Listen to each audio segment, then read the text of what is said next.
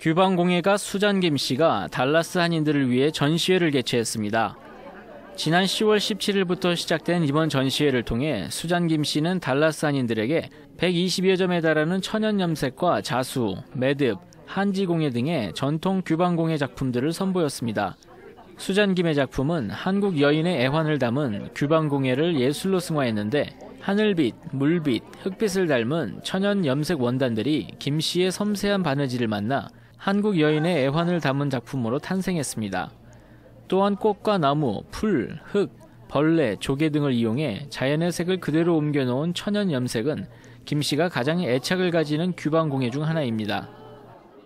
제가 처음부터 그 quilt를 했기 때문에 quilt에 하는 아이템도 거의 다 음, 한국적이에요. 그래서 좀 quilt를 하다가 보니까 이런 우리나라도 뭔가 있지 않나 하여서 찾아가지고 규방을 하게 됐고 규방을 하면은 하면서 이 달라스에는 저밖에 없거든요. 그래서 우리 교민들한테 보여주고 주류 사회도 보여주고 또한 우리 2세들도 보고 와서 배우고 느낄 수 있도록 하기 했어요. 이번 한올 규방 전시회에서는 오방색의 임금님 밥 사발보와 복주머니, 반지꼬리나 놀이개, 곳간 열쇠고리, 그리고 여러 조각의 자투리 천을 모아 만든 조각보 등의 전통공예부터 방석, 가방, 장식용 벽걸이, 일상복 등의 생활용품까지 다양한 작품들이 관람객을 맞았습니다. 다른 일반 천들은 전부 다 화학염이나 화학염으로 가지고 하는 거지만 저 이가 우리 같은 규방 같은 경우에는 100% 수작업이잖아요. 그래서 천을 수, 손으로 손수 다 짜서 또 그걸 다 나염을 해서 그걸 직접 제가 디자인해서 작품을 만들다 보니까 사람들이 한 번도 보지 못한 거잖아요. 그래서 너무 좋아하고 첫째는 천이 캔 시 뚜루 바깥으로 가 완전 볼 수 있어서 그게 너무 매력적이라면서 너무 좋아하시더라고요.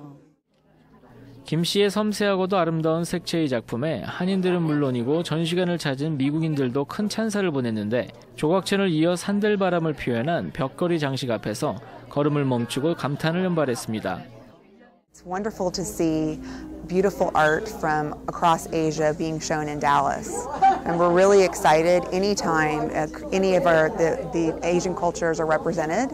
And so this is a, a wonderful um, way to see some of the traditional works from Korea as well as some contemporary interpretations. We are planning a Year of Korea in uh, 2017 at the museum, which would be an entire year focused on the arts of Korea, both contemporary and traditional. Um, our curatorial team is actually planning uh, multiple trips to Korea over the next couple of years, in which um, they'll be looking for contemporary as well as traditional collections to bring to Dallas.